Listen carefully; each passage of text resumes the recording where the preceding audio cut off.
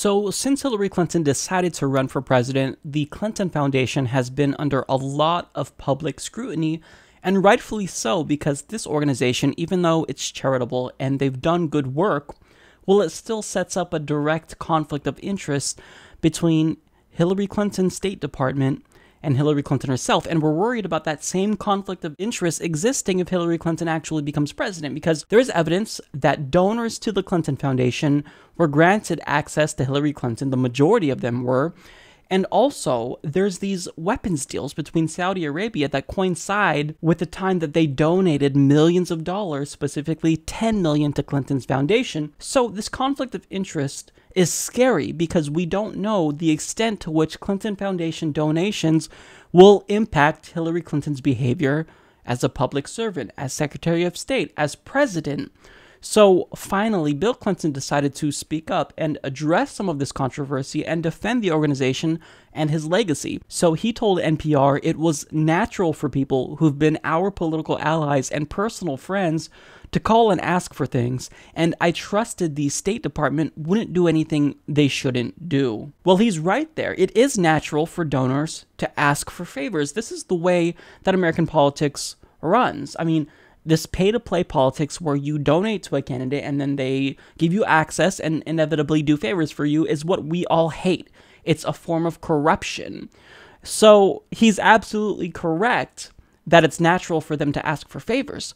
But that's the problem. I mean, nobody's debating that they're not going to ask for favors. We all agree that it's a completely natural phenomenon, but that's the whole point. We don't even want there to be the option that they can ask for favors. So you should delegate control of the Clinton Foundation to someone else. Now, they said they're going to do it to Chelsea. I don't think that's far enough because Chelsea Clinton can still facilitate favors for Clinton Foundation donors because she is the daughter of Hillary Clinton, potentially the next president of the US. So the connection is still there and it's very troubling. So I think that he believes he's telling us something revolutionary by saying, oh, it's only natural for them to ask for favors, right? And I, just believe me, I know that Clinton's State Department wouldn't do anything they shouldn't be doing. Well, one, of course you're going to say that because that's your wife. And two, there's evidence that contradicts that statement because we have seen the reports that donors to the Clinton Foundation got access and special favors from Hillary Clinton's State Department. That's a big problem. Why is it that you have someone like Cheryl Mills, who was an aide to Hillary Clinton when she was Secretary of State, actually doing work for the Clinton Foundation while she's supposed to be an aide to Hillary Clinton's State Department? That's really troubling. So, I mean, the fact that this conflict of interest even exists in the first place is what voters are rightfully worried about and he doesn't seem to get that. Now, he also responded to critics in the media saying it's just a more negative environment. And I have to agree with him here as well, because I mean, look at my coverage. 90% of the videos that I post are negative about Donald Trump, about Hillary Clinton. Uh, I do do uh, positive coverage of Jill Stein, but I mean, anything else is usually negative, but that's not necessarily because I want to be negative or that generally speaking, I'm a negative person. Just the political environment that we're in right now is just negative. I mean, we have a corrupt political establishment that only does the bidding of their wealthy donors. We have climate change that is accelerating and nobody in Congress really wants to act on it. We have income inequality that nobody wants to talk about. We have spineless Democrats who refuse to even fight for a public option, which is an amendment to the Affordable Care Act that would expand coverage to millions of citizens potentially.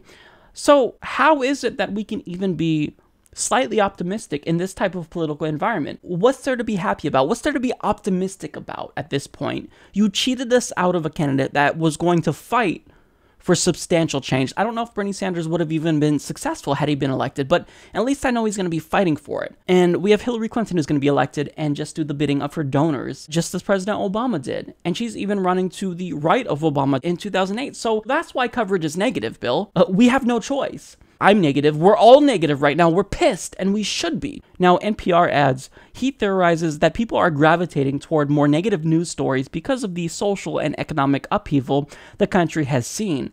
Quote, it will get better if the economy improves, as I believe it is now doing and will do dramatically. But he added that will only happen if Hillary Clinton is elected. So at least he acknowledges that we're pissed because of the state that our country is in, but You're not fooling anyone, Bill. Nobody believes that Hillary Clinton is going to get into office and actually fight for us. I mean, you said it yourself. You think that the corporate tax rates are too high. Obviously, Hillary Clinton is going to be in agreement with that. She's your wife. So, like, in the end, it is the case that the Clinton Foundation has done excellent work, but we're going to be negative and hold it to a pretty high level of scrutiny because that conflict of interest is what's perpetuating this series of economic disenfranchisement and political disenfranchisement.